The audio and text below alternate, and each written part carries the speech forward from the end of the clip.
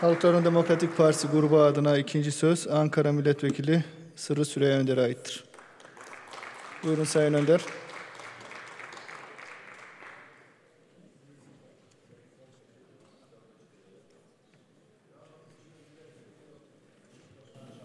Buyurun.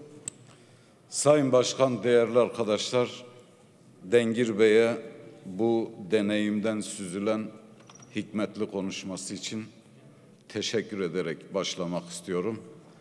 Ziya Paşa'nın bir beytiyle cevap vermek istiyorum Dengir abiye. Hayır umulur mu böyle bir gecenin seherindendir der Ziya Paşa. Evet temenni iyidir, iyimser bir bakıştır ama böyle bir gecenin seherinde bizi ne bekliyor ve böyle bir gecede ya da düzelteyim sehere kavuşmak mümkün mü? Selahattin Demirtaş'ın yazdığı kitaptan bahsetmiyorum. Şafak vakti, gün. Şimdi şüphesiz ki bu milletvekillerinin niteliğiyle ilgili bir şey değil Dengir ağabeyin bahsettiği iş. Bir sistem meselesi. Dün bu da Sayın Başbakan'ın dün yaptığı bir belirlemede saklı bütün bu meselenin niye buralara geldiği. Birçok alametleri belirdi. Herhangi birisinden yürüyebiliriz. HDP'li belediyeler için dedi ki onların durumu özel. Asrın liderinin seslenişiyle seslenmek istiyorum. Ne özeli genel genel. Ne özel? Özel olan Ataşehir Belediyesi. Bir tane. Siz bu memlekette 94 tane belediyeyi gasp edeceksiniz. Ona da özel diyeceksiniz. Sonra da millet milletten bir uyum, kardeşlik, kaynaşma bekleyeceksiniz. İşte hayır umulur mu böyle bir gecenin saherinden tam burada yatıyor. Efendiler, bu memleketin coğrafi olarak üçte birinde seçim sonuçlarını mülga saymışsınız. Üçte birinde seçim sonuçlarını iptal etmişsiniz. Kibarlığı bir yana bırakalım. Gasp etmişsiniz. Adlı adınca çağıralım. Üstelik nasıl yapmışsınız bunu? Şimdi 411 sayılı torba yasayla 19 Ağustos'ta meclisimiz görüşmüş bunu. Bitimi biraz daha farklı. Ağustos ayı sonuna doğru. Bu kayyumu o zaman icat etmişsiniz. Yüz yılın icadı AK Parti ne lazımsa yaparız diyorlar. Bugünlerde CHP ile Kemalizm yarışına girmişler. İyi olan kazansın diyoruz. Biz bu yarışta yokuz. Şimdi HDP'nin etkili muhalefetiyle bu kayyum meselesi bu torbadan çıkarılmış ama bu çıkarılma işlemi sayın milletvekilleri bir İçişleri Bakanı'na sebep olmuş. Aynı zamanda. Ya bu kayyum ahlaki bir şey değil diye düşünen hemen sistemin dışına itilmiş.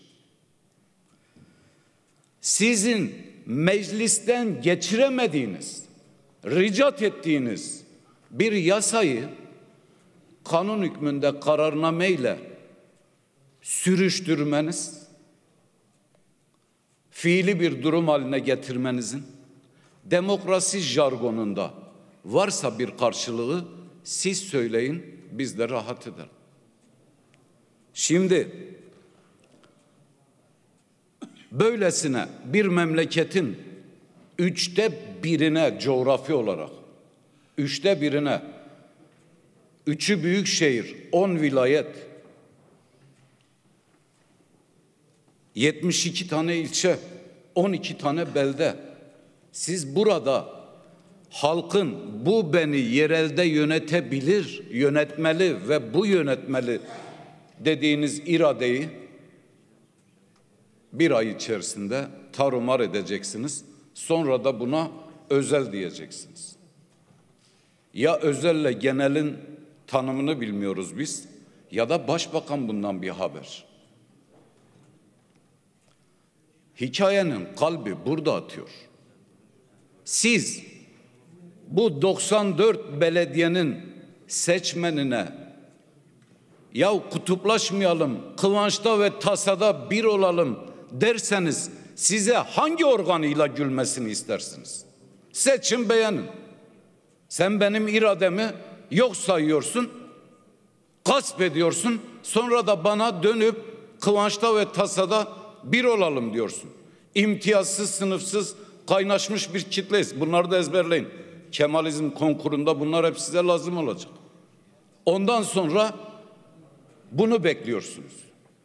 Vallahi güneş batıdan doğarsa belki. Şimdi bu memleketin bir hizalama aracı var. Kürt dedin mi? Farklı inançlar dedin mi? Bu memlekette hizaya girmeyecek, sistemin içine koşar adım dahil olmayacak pek az insan var. Bu ezber her seferinde çalışıyor. O kadar vahim ki yasama dokunulmazlıkları kaldırılırken de çalıştı. Ana muhalefet partisi bunun bir zincirleme müteselsilen yarın öbür gün kendisinin de başına geleceğini bilemedi. Acı bir şekilde tecrübe etti. Belediyelere terör dediler. Bütün bu belediyelere bu 94 belediyenin 27 tane kadın belediye eş başkanı da dahil olmak üzere daha birçoğunun davasının bile açılmadığını biliyor musunuz? Davası açılmamış. Ne ile suçlandığını bilmiyor. Terörle, şiddetle ya da son zamanlarda ortaya saçılan para pul akçeli işlerle ilgili bir tek dosya, bir tek itham, yalan da olsa bir şey ortaya konmuş değil. Bütün belediye eş başkanlarımızın şahsında yoldaşımız, yol arkadaşımız, onurlu güzel insan Sayın Gültan Kışanağ'ı buradan selamlamak istiyorum.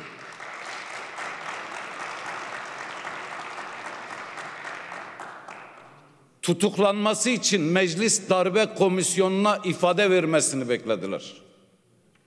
Ve Meclis Darbe Komisyonu'nda bilgisine başvurulan bir şahıs ve bu parlamentonun emektar bir vekili olarak geldiğinde bir hadsiz vekil ona dedi ki cemaat seni ziyaret etmiş e, darbe komisyonunda ve sana devletin ajanlarının listesini vermiş. HDP'nin içindeki ya da PKK'nın içindeki. Bunu söyleyen insan çok değil. iki hafta sonra Pensilvanya'da dest bağlamış bir şekilde fotoğrafı çıktı. Sevgili kardeşim verdilerse el bağlayanlara vermişlerdir. Dendiğinde ağzını açıp bir şey demedi. Buradan gitti uçağı Diyarbakır'a indi ve Gültan Kışanak gözaltına alındı. Onurumuzdur diğer bütün belediye eş başkanlarımız gibi hepsini buradan saygıyla selamlıyoruz. Bu ülkenin demokratik dönüşüm tarihi yazılıyor. Ve siz bu demokratik dönüşüm tarihinde demokrasi denilen şeyin yerellik, yerinden yönetim, yerelin karar süreçlerine katılması demek olduğunu ağır mahkumiyetler ve can güvenliği ve işkence ve itibarsızlaştırma olarak ödüyorsunuz. Bu dünyada ödenmiş en kıymetli bedellerdendir. Tıpkı içeride olan başta eş genel başkanlarımız ve milletvekillerimizin olduğu gibi.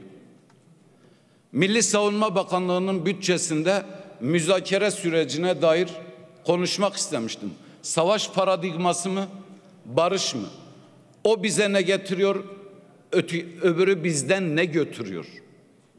Fakat zorla getirmem var. İstanbul 26. Ağır Ceza'da o gün mahkemede olmak zorunda. Niye? Yasama faaliyetinden alıkoymak bu değil de nedir? Neyse ki her biri birbirinden yetkin bir sürü yoldaşımız var.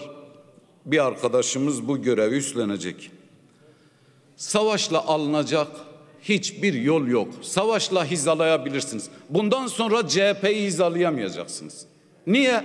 Bir bedel ödedi ve farkına vardı. Ha bunlar öyle yani bu kadar söyledikleri gibi değil. Dertleri sözde terör falan değilmiş. Bunlar muhalif olan, baş kaldıran, aykırı giden, sistemin birazcık dışında durmayı tercih eden, bize yaptıklarımıza ayna tutan herkese düşmanlarmış bunlar. Bunu deneyimlediler, öğrendiler. En kötü çatışmasızlık bir günlük bir savaştan iyidir. İsterse asırlarca sürsün. Konuşmaktan zarar gelmiş bir toplum, bir halk gösteremezsiniz. Zarar görmüş. Ama savaşın ortaya koyduğu toplumsal maliyet ortada. Bir çelişki var. Yandığımız ve itiraz ettiğimiz bu. Müsebbibi sizsiniz. Faturasını bütün ülke ödüyor. Ve belki de en az siz ödüyorsunuz. Şimdi başkanlık divanı üyesi olmam hasebiyle meclis bütçesine dair de bir şeyler söylemem gerekiyor. 336 sayfa amiyane tabirle zembil gibi bir çalışma raporu bastırılmış. Ben başkanlık divanında işte sevgili başkan vekilimiz orada, genel sekreterimiz orada. Dilimizde tüy bitti. Arkadaşlar internet denen bir şey var. Bize her seferinde gündemi böyle sayfalarca basıp dağıtmayın. Mailimize atın. Belki farkında değilsiniz. İnovasyon çağı diye süpürgecilere ödül vermeye benzemez bu. İnovasyon böyle bir şeydir ya. Hepimiz internet okur yazarıyız. Yazıktır bunlar için ağaç kesiliyor. Kimse de açıp merak etmiyor. Soruyorum buradaki 550 vekil arkadaşımıza. Hiçbiriniz bunu evinize götürüp kütüphanenize kour musunuz? Ben götürsem hani kapı ceryandan çarpmasın diye zembil gibi çünkü. Kapının önüne korum. Niye? Edebi bir değeri yok. Bilimsel bir değer yok. Arşivlik bir değer yok. 336 sayfa birinci sınıf kuşa hamur böyle bir şey. Peki içinde ne var? İçi çok önemli. İçinde beş tane avize var. Beş tane avize fotoğrafı. Çekoslovak avizesi. Beş yerde var. Bir tek yerde bu ülkenin üçüncü büyük partisinin eş genel başkanlarının fotoğrafı yok. Beş tane avize fotoğraf var. Bir tane Selahattin Demirtaş fotoğrafı yok. Bekaroğlu diyordu ya cami yok içinde. Sadece cami değil bakın neler yok. 81 ilin müftüsünün fotoğrafı var. Hem vallahi hem billahi. Ama bizden bir tane milletvekilinin fotoğrafı var o da cezaevinde. İdris Balüke'nin. Niye? Bu 15 Temmuz'un yüzü suyu hürmetine. Diyanet Başkanı'nın fotoğrafı var. Figen Yüksekdağ'ın yok. Ya bugünlerde anti emperyalizm rüzgarına kaptırmışsınız kendinizi. Dunford'un Amerikan Genel Kurmay Başkanı'nın bile fotoğrafı var. Bizim genel başkanlarımızın fotoğrafı yok.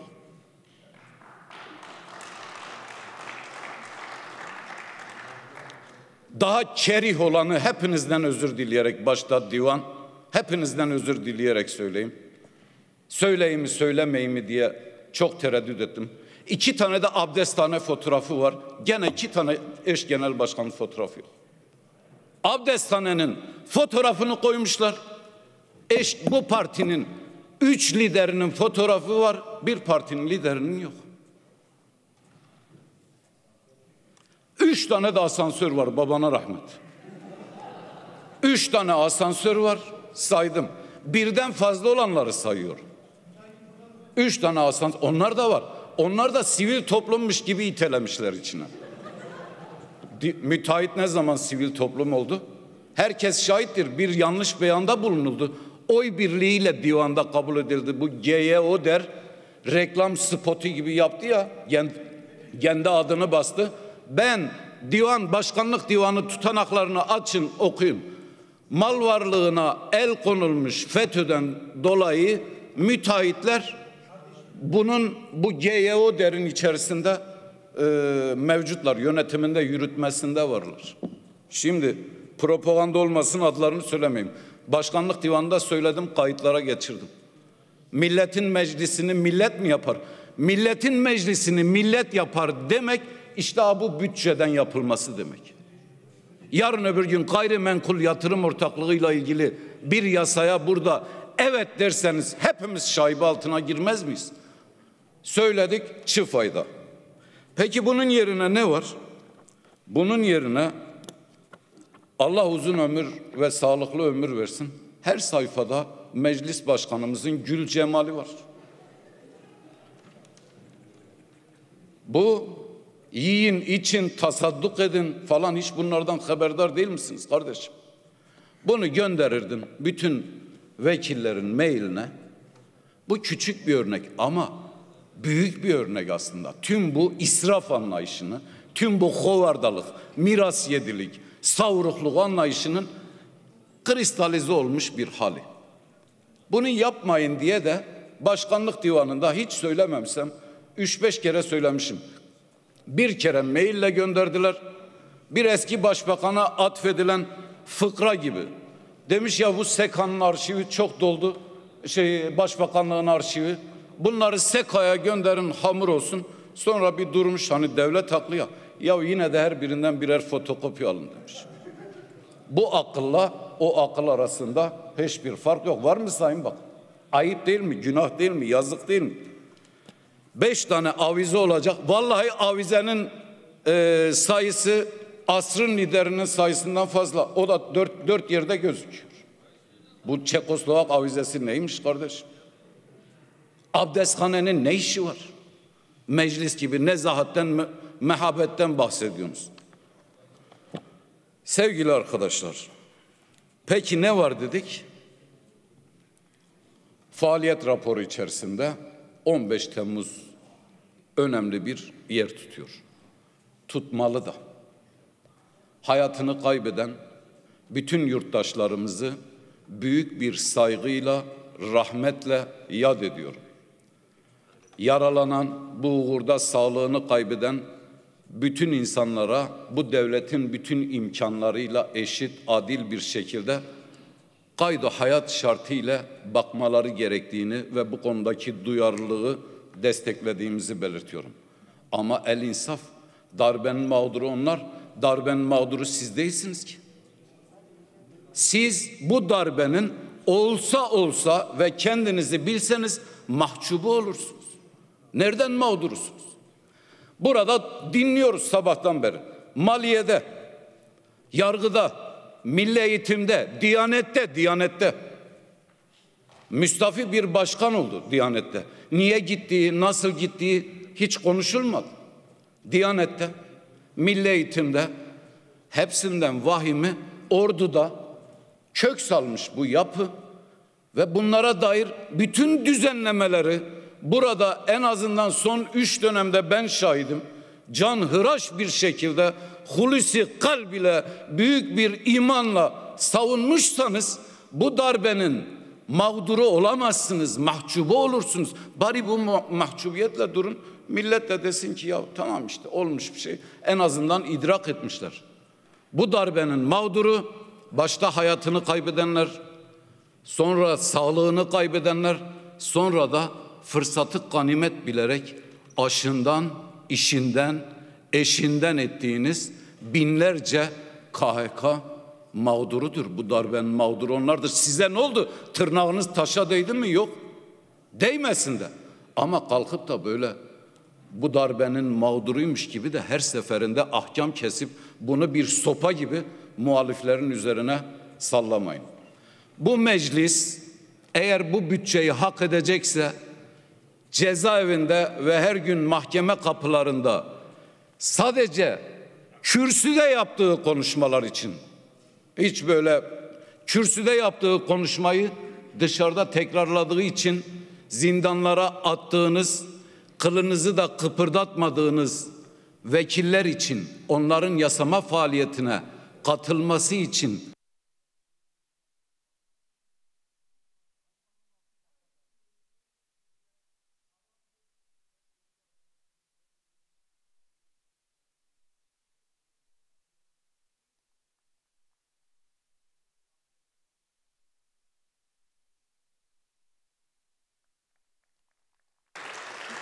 Teşekkürler Sayın Önder.